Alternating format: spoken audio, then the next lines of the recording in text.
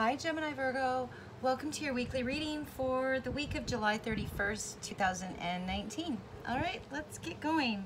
So your first card in the what is the Eight of Coins in the reverse. So this is um, possibly feeling isolated, um, kind of isolated at the top. Um, you've achieved something, you've achieved independence, um, but now you might be feeling somewhat alone, like there's no one um, that relates to you almost. Kind of alone in the crowd, very independent.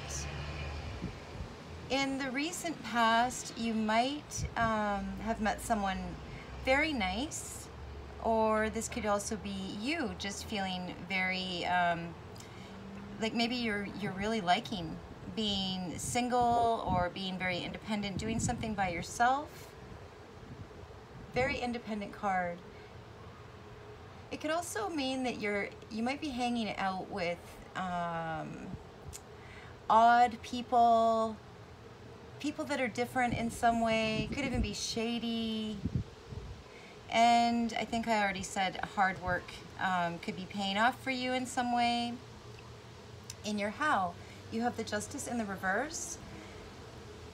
This can mean uh, legal traps, being treated unfairly.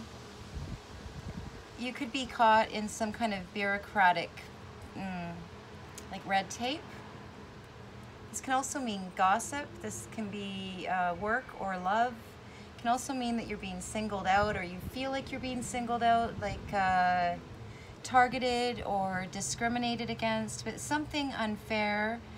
She's looking right at this independent card, so you might have been forced to be very independent about something and take on something by yourself because you weren't getting any help or either you weren't getting any help with something or someone was literally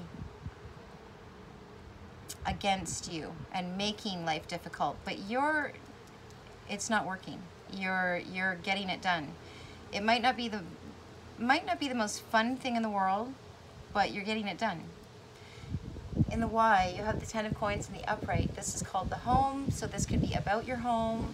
Could be something legally unfair about your home. This can also be about your bank account. But this is about things increasing. So your home might be increasing in value. This can just be cleaning your house, but this is increasing the value of your home. You could be doing reno, you could be selling it. you could be trying to think of a way out of a situation. You could be kind of trapped by trapped by your own structure that you've built your life around. Um, it could mean trapped in your home. I don't mean trapped in your home. I mean something to do with you're in it or you have it but you might be trying to let it go or something like that or making the decision as to whether you should let it go but trying to hang on to it this can mean putting on a brave face and trying to get you could be trying to save your house something like that or increasing the value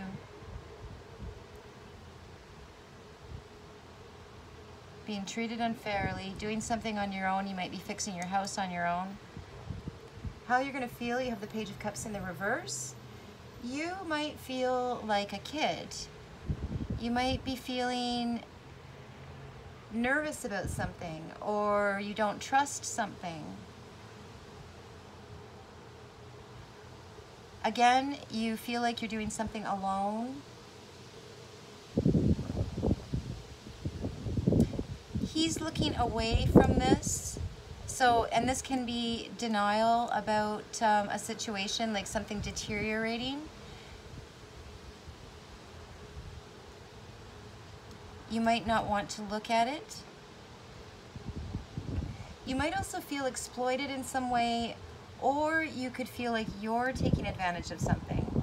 This can also, to me, this can also mean the other man card. You might feel like you're an extra to someone's home situation and it's an unfair situation, you might be setting yourself free from this and becoming single.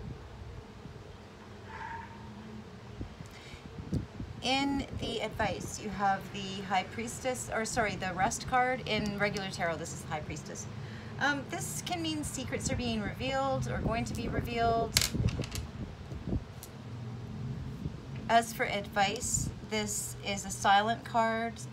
It means to say, stay silent, rely on your intuition. Um, this means increased psychic perception. This is about platonic love. This is about someone feeling very sensitive in all ways, like um, emotionally sensitive and also receptivity. This is this is all all about receptivity. This card. Also about discretion, not taking action. So don't do anything. Literally do what the card is called and rest. Can also talk about things that are mysterious, picking up on things non-verbally. At the bottom of the deck, you have the Grand Priest, which is interesting because this is the High Priestess and this is the Grand Priest. In regular tarot, this is the marriage card. This is about happy relationships, at work, at love, at um, family. Could mean someone having a baby, making an important decision, being very selective. This is about receptivity and this is about se selectivity. Being very selective. Trying to decide whether you should ignore something or take responsibility for it. Signing an oath, signing a contract. So this is the injustice position. Your advice is to stay silent and then you have this oath card so it almost looks like if you wait, you're if you're waiting to sign something, if you wait and just kind of chill for a while, you might be signing something soon. An oath or a contract could mean a new job. Something um, coming together, someone agreeing on something together. It could be marriage or it could be like a work thing, a, a work contract, any kind of contract. Taking control of your desires, like putting, deciding what you want and deciding how to get there.